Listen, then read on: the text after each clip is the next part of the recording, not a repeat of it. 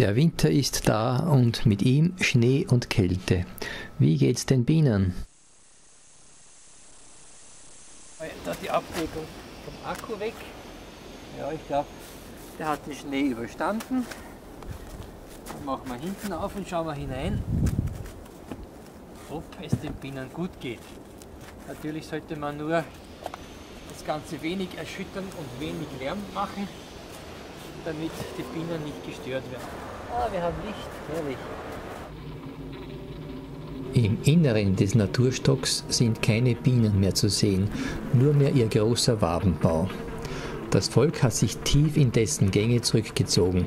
Einziges Lebenszeichen ist das deutlich vernehmliche Summen.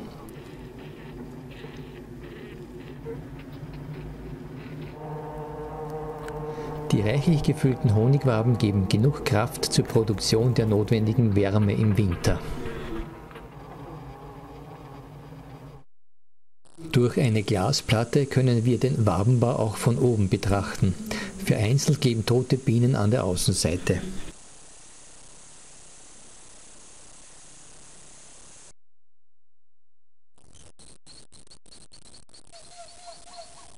Auf dem Gemüll liegt ein Teil der abgestorbenen Sommerbienen, die nicht mehr hinausgetragen wurden.